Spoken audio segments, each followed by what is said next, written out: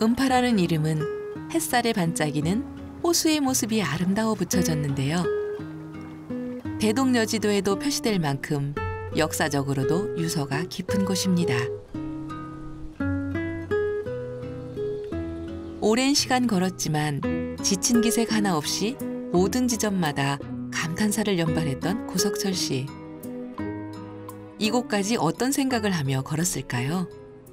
밖에 나와서 어, 길을 걸으면서 굳이 복잡한 머리 아픈 일을 그 생각한다는 것은 그건 아마 좀 본인에게도 좋지 않은 것 같아요. 기왕에 걸으면서 힐링을 하려고 나온 마당에 가급적이면은 다른 생각은 떨쳐버리고 오로지 내 주변에 그 걷는 길의 주변 환경을 좀 만끽하면서 자연과 더불어서 진짜 어, 단련시킬 수 있는 몸과 마음을 그런 마음 그런 생각을 가지고 길을 걷습니다.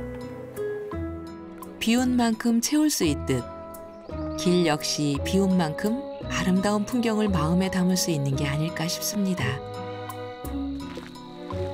반짝이는 호수를 바라보며 걷다 보니 공원의 포인트 지점인 물빛 다리에 다다랐습니다.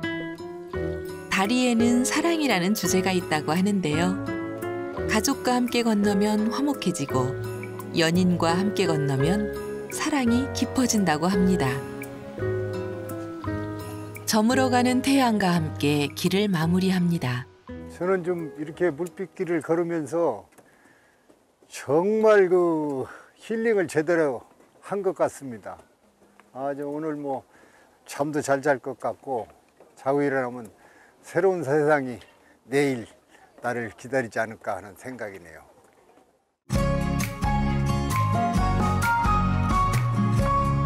Human in Nature, Mountain TV.